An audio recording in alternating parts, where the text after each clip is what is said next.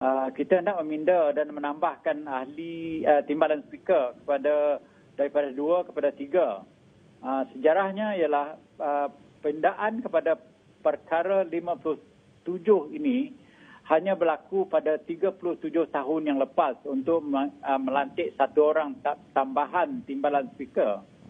Jadi sesi ini nampaknya satu sesi yang sesuai supaya apabila boleh kita bawa perundangan ini daripada awal lagi hingga bulan Oktober, saya cukup yakin kita mendapat sokongan uh, daripada pihak uh, semua pihak untuk menambahkan jumlah timbalan speaker dan boleh mengguna menggun, apabila telah dilantik nanti diluruskan nanti boleh dilaksanakan terus pada sesi belanjawan pada penghujungan tahun yang mana kita mempunyai persidangan yang lebih tinggi, uh, lebih panjang lagi masa dan uh, keperluan tambahan pekerjaan.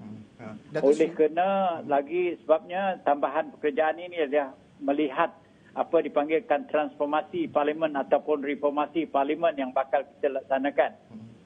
Dan dalam masa yang sama juga dalam agenda ini uh, kita banyak mempunyai tugas-tugas tambahan yang belum lagi kita kenal pasti buat setakat ini.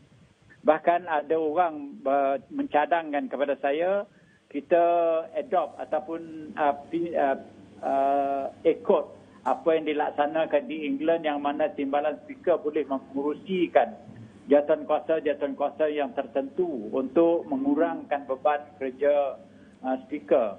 Jadi ini di kalangan cadangan-cadangan yang ada yang kita terima dan kita peka dengan cadangan-cadangan ini kerana dalam kita melaksanakan uh, transformasi dew, pal, uh, parlimen ini kita ambil peluang ini bersama untuk uh, menambahkan kemudahan-kemudahan untuk ahli parlimen. Uh, dan satu juga ialah boleh kena kita bakal melantik ataupun mer, uh, ber, menubuh banyak lagi jawatan kuasa dalam parlimen. Jadi saya cukup yakin penlibatan uh, speaker itu akan kerap dengan uh, jawatan kuasa-jawatan kuasa tersebut ataupun menelitikan laporan-laporan yang didapati daripada pihak jawatan kuasa-jawatan kuasa pemilih khas yang bakal dilaksanakan oleh pihak parlimen.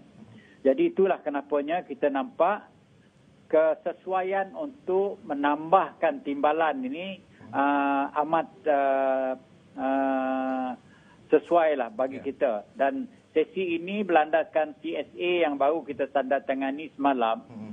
Kita cukup yakin semua pihak uh, di antara kerjaan dan pemengkang boleh menyokong kita dalam uh, melaksanakannya menerusi pindaan kepada perlembagaan. Yeah.